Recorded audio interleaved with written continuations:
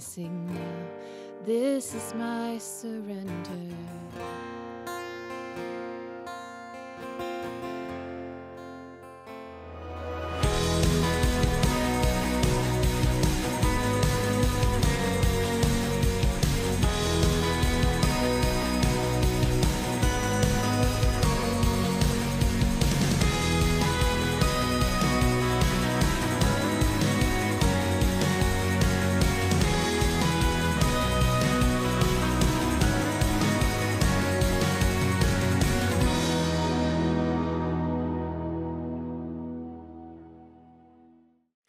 Hello, neighbors. My name's Shawn, and I'm one of the pastors here at North Cross, and it's my joy to welcome you to North Cross Online, a chance for us to worship together wherever you are, whatever you're doing. We thank you for joining us right now. We know that God transcends time and space, and so we just thank you for using this technology to experience worship with us.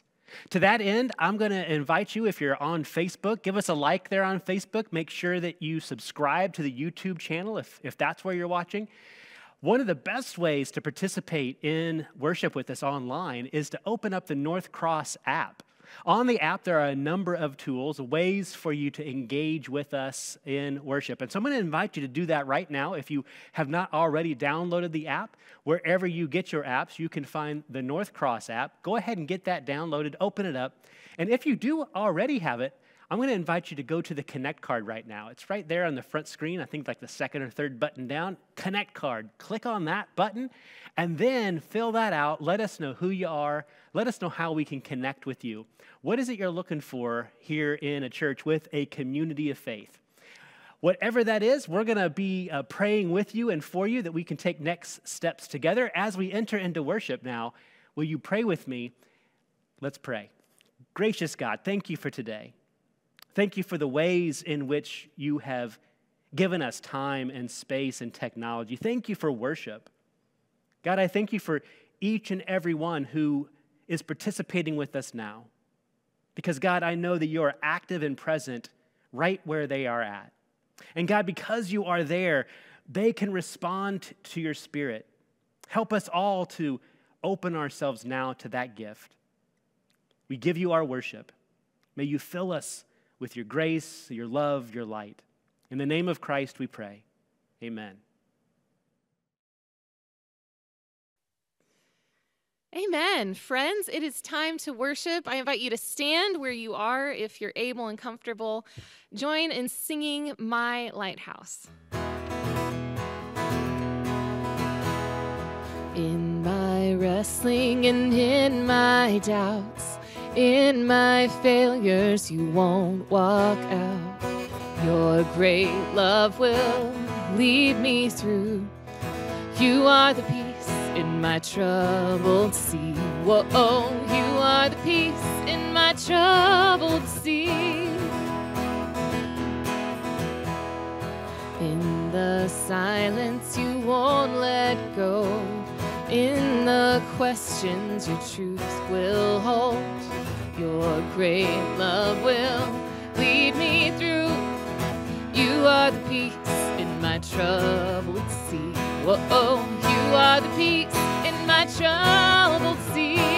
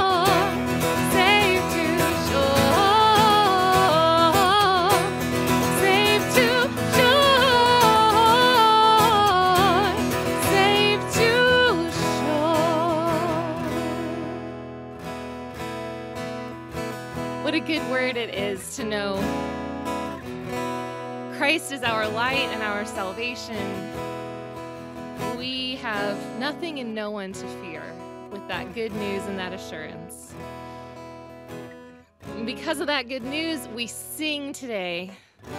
Let's sing, Oh, for a thousand tongues to sing.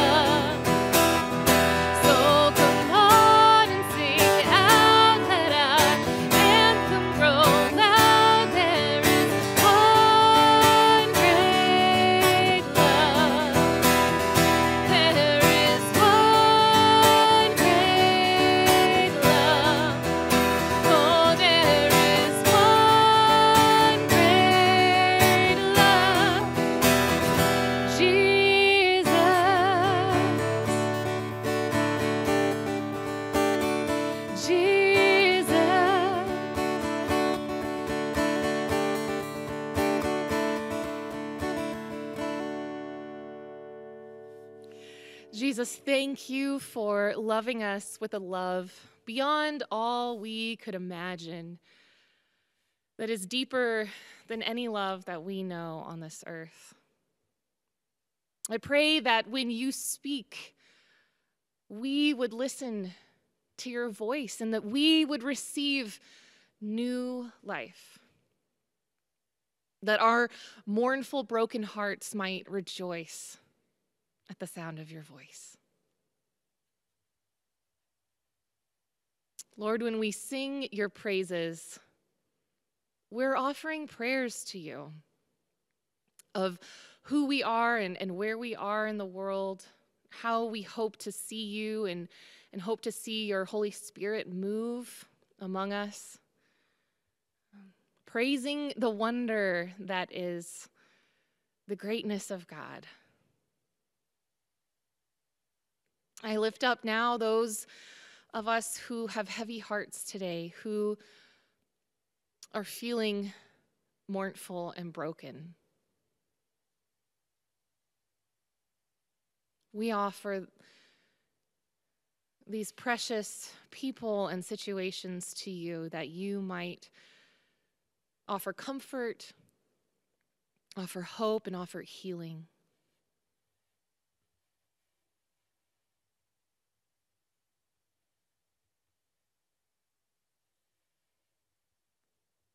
God, we give you glory and praise. We sing and we hear your word, and we want to know you more. I pray that today we would do just that. We could draw close to you, shutting out the outside world for a few moments to focus on your son Jesus, his message of hope and light, his offer of new life. I pray for Pastor Shawn that uh, you would be, your spirit would be on him, that you would anoint him to speak your good word today and that you would be preparing our hearts to receive that word. Open our ears and our eyes. Humble us to receive this word. In Jesus' name we pray. Amen.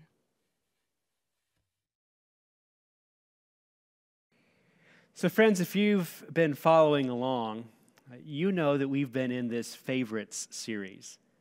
Today, uh, as we end the series, as the, as the kind of the culmination of the whole experience, we are recognizing our teachers. So this whole weekend, we just have Teacher Appreciation Weekend. And so I hope that right now you're thinking of your favorite teacher. It could be somebody that you are currently connected to, or maybe somebody that uh, was a teacher once upon a time. I hope it's somebody that you still have an opportunity to have a relationship with. I'd love for you to uh, just type the name of that teacher in the comments if you're able to do that. If not, just uh, call to mind that teacher. Think about that relationship. It's not easy being a teacher, and I'm going to suspect that uh, the teacher you're thinking of right now as your favorite would agree with that. They are often underpaid and overworked. There's never enough time to use the restroom or to eat lunch. They juggle the demands of parents and students and elected officials. Aside from all that, teachers do the work. They are incredible, at least most of them. If we look in Scripture, we find teachers are not always presented favorably. In fact, there are, they are frequently accused of teaching the wrong things in unhelpful ways. A notable exception is Jesus. Of the 90 times Jesus was addressed directly in the Gospels, those stories of Jesus' life Matthew, Mark, Luke, and John. Of the 90 times Jesus was addressed directly, 60 times he was called teacher. Perhaps Jesus' greatest lesson, his, his greatest example of teaching, we know as the Sermon on the Mount. You can find that particular lesson, that particular teaching, in Matthew's telling of Jesus' life. Again, that's the first gospel account, the first story of Christ in our Newer Testament. Matthew chapter 5 through 7 is that Sermon on the Mount. At the end of the teaching, we read this this is from Matthew chapter 7, verses 28 to 29. When Jesus had finished saying these things, the crowds were amazed at his teaching because he taught as one who had authority and not as their teachers of the law. The crowds, after hearing Jesus' sermon, after hearing his lesson, after hearing this teaching, were amazed he taught as one who had authority. So, what was so different about Jesus' teaching here? But before we answer, let's note again it is not possible to overstate the importance of teachers. Our first teachers are often our parents, and they hold a significant and valuable place in our life. Even when we head to school, they continue to teach us. Coming alongside those who are formally recognized as our teachers, then, our parents uh, continue to be teachers with us as we go. Throughout life, we have a number of people who kind of come in and out of our lives. We have mentors and coaches, and, and even after our formal education, they continue to teach us in real and powerful ways. You know, while we can learn much on our own, it is teachers who show us how to learn. It is teachers who spark imagination, encourage exploration of the unknown, name possibilities, and shape futures. Yes, they introduce us to facts and formulas, the building blocks of language and the fundamentals of art, how the world works and why it matters. But more than providing information, the real work of teachers, at least in my opinion, is formation, the shaping of lives, the creation of new worlds. So, so this weekend, we are recognizing our teachers, and we have invited uh, some to uh, participate with us. We've tried to reach out to them and connect with them. And, and if you have an opportunity to be part of what we do here at North Cross physically, we're going to invite you to celebrate those teachers with us in the flesh. If not, I want to invite you to, to write a note, to find a way to reach out to your favorite teacher, if it's possible still to do so, and let them know how much you value them, how much uh, you appreciate them. Again, uh, for me, some of the people you're naming, um, I know in my own case, I can think of a particular teacher who who I, who I think, although I've had many teachers, I would say this teacher had the most impact in my life. Again, not just information, but formation given to me with this particular teacher. The one that I think formed me the most was Ron Jackson. Mr. J, as we called him, had to, had to work, so he's not going to be able to participate with us uh, live uh, when we celebrate our teachers, but I had an opportunity to, to reach out to him and connect with him. And, and Mr. J, if you're watching this, thank you again for being such an incredible influence in my life. To tell you a little bit about Mr. Jackson, uh, he was my debate coach. Now, debate coaches are a special class of teachers. Imagine a youth group, if you know of such a thing, that spends its time together literally arguing about everything all the time. That's, that's a debate team, that's a debate squad. We would leave for tournaments on Friday, generally before the end of the school day. And we would return late at night, sometimes very late, only to gather back very early on Saturday mornings to, to again then spend the whole day together. While we didn't have tournaments every weekends. We competed as often as we could. So many weekends were spent in just that fashion. There were many late nights, many early mornings, bus rides to strange schools, and invading fast food restaurants. Now, while Mr. Jackson taught me logic and reasoning, how to organize and deliver a speech, how to present myself professionally, how to inform and persuade and entertain. The real lessons and the reason why I lift him up as, as a teacher I want to celebrate today, the real lessons were much more personal. Mr. Jackson most fundamentally taught me that I was worthy to be loved. Just as an example of that, I mean, there are many examples I could give, but let me just give you one example of of how that was communicated to me. After graduation, when I had lost my way and dropped out of college after a miserable first semester, Mr. Jackson called me and asked if we could meet. We did meet and we talked about life. We talked about my life and what was going on. He encouraged me to, to reapply to a different university he reminded me of who he saw me as and what he knew I could become. I did apply to that university. I did have a restart to my college experience. Friends, that is what good teachers do. They offer the care, the compassion that encourages us to fulfill our potential, even when we cease formally being their student. This is what is different about Jesus. The other teachers of the law spent their time reminding the people how they had failed. Their teaching was about pointing out all the ways the people didn't get it right, didn't measure up, didn't count. Jesus' teaching, again, if you go back and read the Sermon on the Mount, if you read through the gospel accounts of his life, you'll find Jesus' teaching is about living a new life. A life that Jesus said we had been made to live. Blessed are those, he says, who have been told you don't matter. You, sitting right there on the hillside, he says, you are the ones who will change the world. Be salt, be light. You can help others experience God. Let me remind you, we can do it. We can live together. Your life is significant, it has meaning.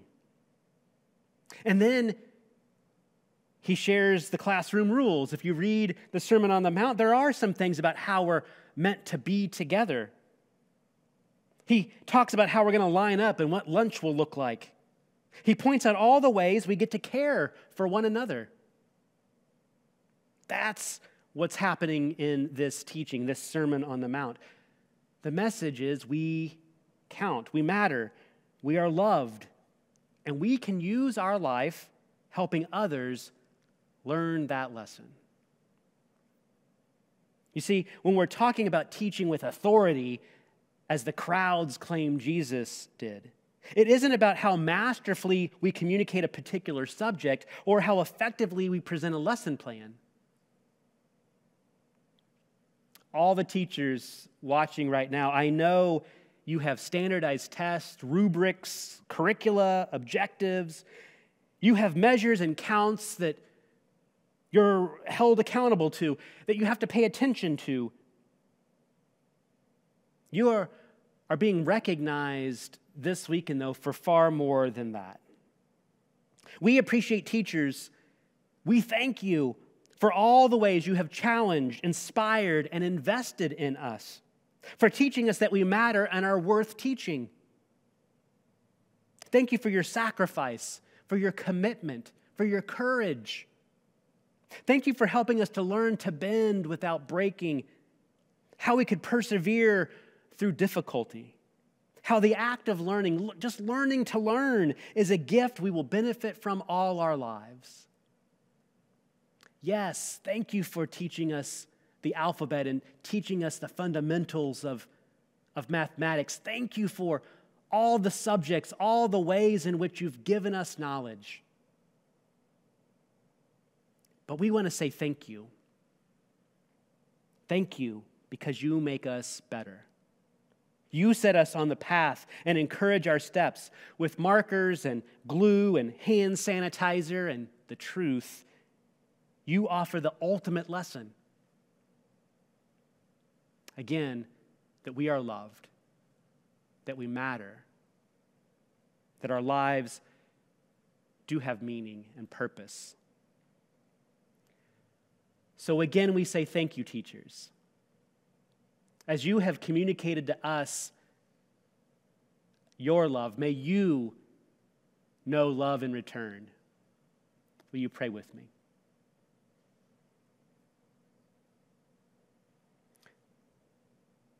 God. You instruct us. You set us on the paths that lead to life.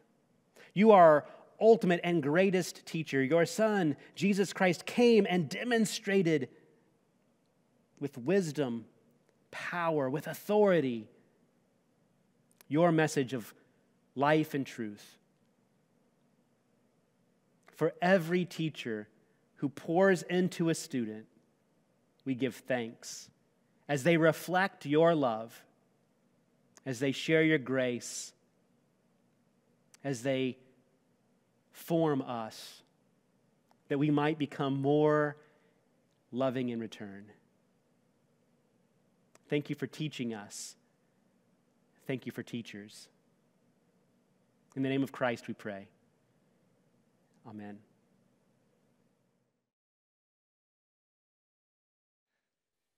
Friends, we have the opportunity now to respond to this word by offering our gifts, our tithes to the Lord. There are a lot of different ways that you can do that, and hopefully, you can see that at the bottom of your screen. Um, whether you text to give or use the North Cross app, um, go to playlearnshare.org on our give page, or uh, send a check to the church.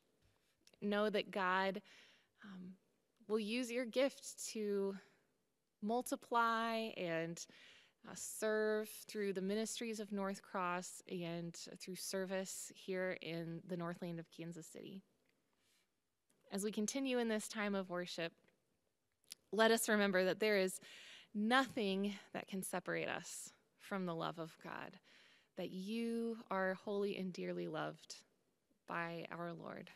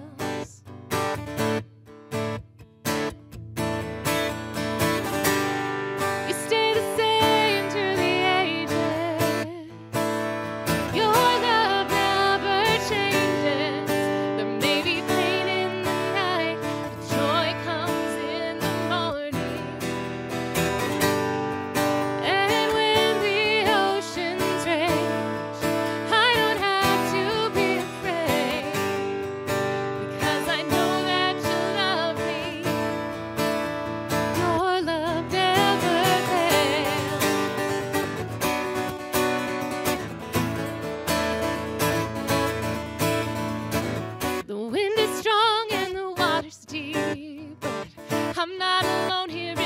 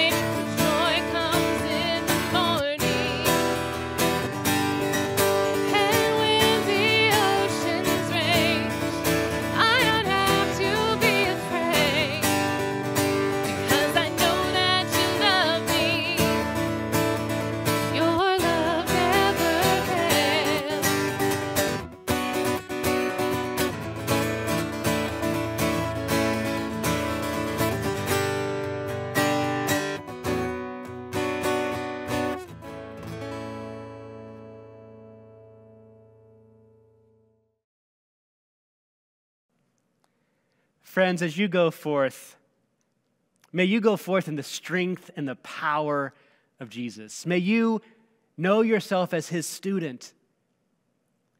Perhaps most importantly, may you know you are loved.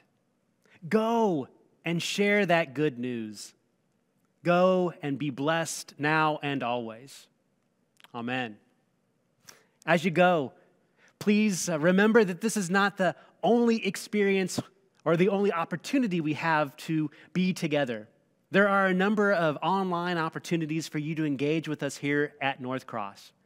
If you're interested in any of the groups or the studies, any of the, the opportunities that you're going to see scrolling here in just a moment, or that you could find at playlearnshare.org, please reach out to us. Again, the best way, perhaps the easiest way to do that is just through the North Cross app. Uh, there's other links there that you can also click on, and we're going to invite you to do that so that we could take next steps together. If you've got a teacher in your life, give them a little love today. Go in peace. Amen.